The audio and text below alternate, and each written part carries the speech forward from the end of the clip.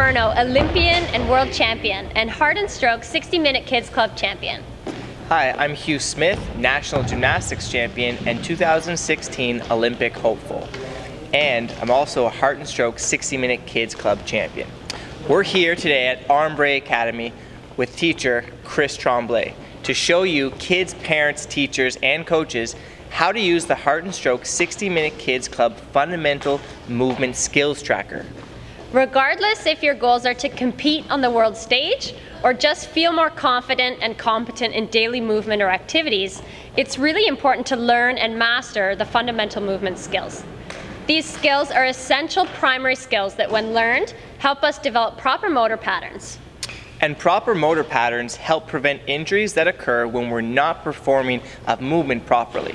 Over time, if we repeat these movements, we can develop stability and mobility issues that put us at risk.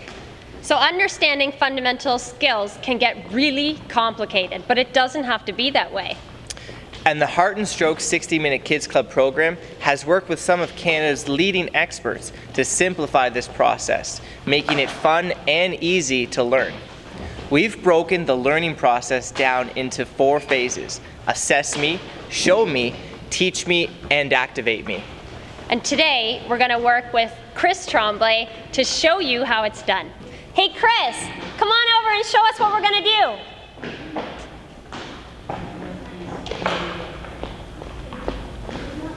Hey Chris. Hey guys. Can you show us what we're going to do? Sure. Today we're here to assess the fundamental movement skills proficiency using the Heart and Stroke Foundation 60 Minute Kids Club assessment tool. Great. And Chris, from a teacher's perspective, can you tell us why you like this tool as a way of assessing skill competency? Sure can. I can just click the skill I'm assessing on my iPad to see the four variations of skill development. Emerging, developing, acquired, and accomplished. It's digitized. After I make the assessment, I simply click on the ranking that's appropriate for the student. I can put notes in there where it's stored, also come back to it the next time we assess. It's very visual. It's comprehensive. I like the way it's broken down into assess me, show me, teach me, activate me. Some teachers and coaches aren't specialists in diagnosing movement patterns or prescribing specific movement lesson plans. So to have this resource to make that process easier helps the process to happen. If I want to access lesson plans, I can simply go into the site and download free skill-specific lesson plans to incorporate into my own classes. That's awesome, Chris. Can you tell us why parents and kids like this tool? Yeah, for sure. First of all, it's simple. Anybody can look at the demo and figure out where they are on the chart and, and they can follow the demo closely. It's visual. Kids and parents are very visual learners. For example, we showed this video to a kid on throwing and within 10 minutes of working on the visual part of the throwing instruction, she was throwing at a much higher level after 10 minutes. Oh, that's awesome. Yeah. Chris, can you walk us through exactly how this whole process works in a class setting? Yeah, sure can. Okay, Logan, would you like to come up here? Come on up. And what I want you to do is you're going to throw three balls from behind this black line right here. So pick up one at a time, stand back, and I'm not going to give you any instruction at all, but I want you to throw it towards the net as hard as you can, okay?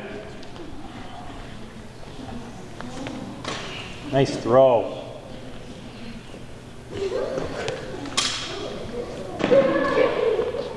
Excellent. Thanks very much, Logan. And Chris, how can parents and children find out about how they've charted and how to improve?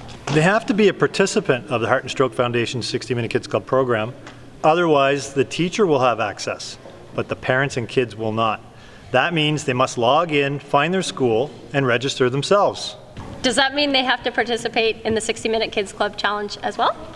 No, they don't have to, but we encourage it. Physical literacy is about proper movement having confidence and competency in, in one's own movements. So goal setting, healthy habits, those types of things are really important to physical literacy. Right on, that's great because we know how important all of that is. Exactly, Hugh. And Chris, what do you expect to see as the end goal for this program? You know, it would be great to see this FMS tool uh, being used as a tool for charting and progress and evaluation for physical education. We already use the same type of systems for the three R's, you know, where we will evaluate on subjects in school. Then we'll present curriculum. Then we'll go back and reevaluate to see if they've progressed and what they've retained. We want to do the same thing with physical literacy. And our assess me, show me, teach me, and activate me process simplifies this. So then we hope to see more kids being confident and competent as they finish elementary school and enter high school. It's really building that foundation of skills that they can use throughout their school career and then beyond. And we will have more confident and competent kids being dropped off at the fundamental sports skills. Yeah, for sure. That should be all of our goals. Well, that's awesome. A free tool that helps us to move better. I call that smart technology. Thank you so much, Chris, for showing us how this all works. You're welcome. Thanks, kids, for being awesome demonstrators. And thank you to TELUS for putting this all together. For more information how to bring this tool into your home, your sports team, your school, or your rec center, go to fms at 60mkc.org. And remember what this is all about. Movement improvement.